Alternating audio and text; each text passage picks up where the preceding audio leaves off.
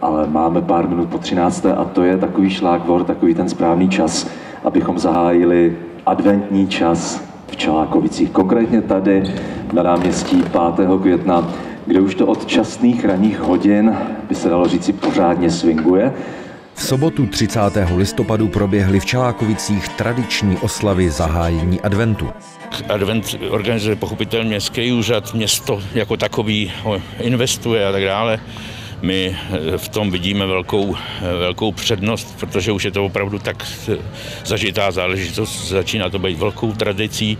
Je hodně, hodně lidí se tady schází, máme z toho velkou radost. Hlavní program se odehrával na náměstí a v jeho nejbližším okolí. Stánky nabízely občerstvení, vánoční cukroví i stylové vánoční zboží. V Městském muzeu byla zahájena výstava s názvem Čokoláda královna sladkosti a neb příběh sladkého hříchu. Ta bude otevřená až do 26. ledna. Městský dům dětí a mládeže připravil v muzeu ukázky řemesel za doprovodu hudebního seskupení Lahoda.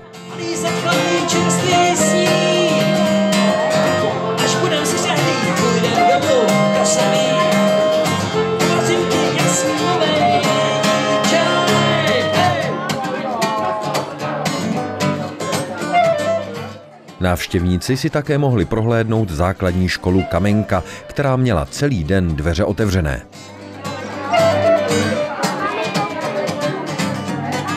Svůj program přidala i základní umělecká škola Jana Zacha. Na jejím nádvoří byl například vystavený tradiční keramický betlém.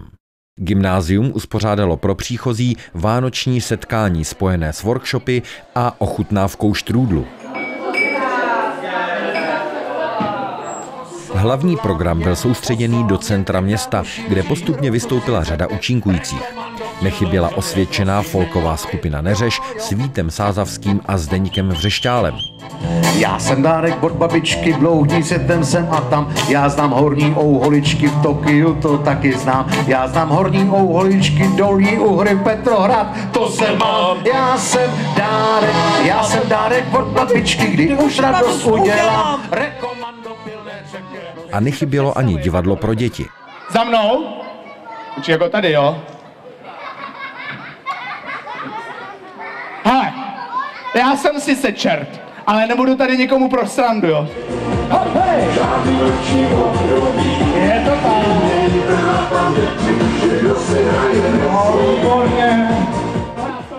Základní umělecká škola Jana Zacha vystoupila s komponovaným programem.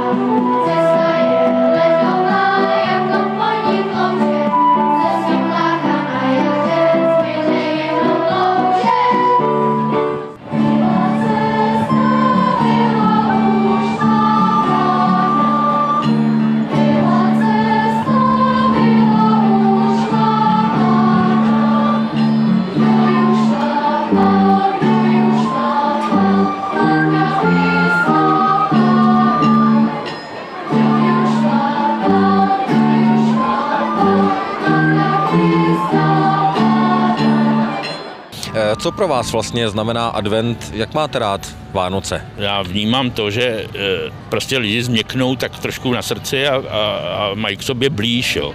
Já si myslím, že to, to, to potkávání těch lidí se vzájemně je velmi důležitý a e, je potřeba prostě, aby, aby nacházeli furt v sobě ještě ten okamžik, kdy, kdy se vlastně skutečně potkají i v tom kostele, že si podají ty ruce nebo, nebo, nebo na té ulici. Máme rádi Vánoce a máme nový miminko, teď se nám narodilo, takže nový, takže budeme mít šťastnější Vánoce, takže se těšíme moc. Máš ráda Vánoce? Mám. Co si přeješ letos k Vánocu? Chtěla bych kasečku. A jak se ti tady líbí? Líbí. Jo, líbí se nám. Jsme tady asi půl hodinky, ale líbí se nám to. Slavnostní rozsvícení vánočního stromu proběhlo krátce po 17. hodině. Já si dovolím na úvod poděkovat všem, kteří se podíleli na dnešní adventní sobotě, když to není ještě ta neděle. Počínaje tím kulturním programem, eh, přes všechno to technické zajišťování, které věřte není jednoduché. A děkuji taky všem eh, těm, kteří tu mají své stánky a skutečně tu celý den vydrželi. Připravovali nám tady občerstvení a připravovali takovou tu sváteční pohodu. A teď stromečku, rosvice, teď! Hezky, zatleskáme, pojďme! Advent je tady, Vánoce oficiálně zahájeny v Čelákovicích, tak si toho užíme. Na hlavním pódiu pak zněly koledy v podání žáků pěveckého oddělení základní umělecké školy Jana Zacha. Jednu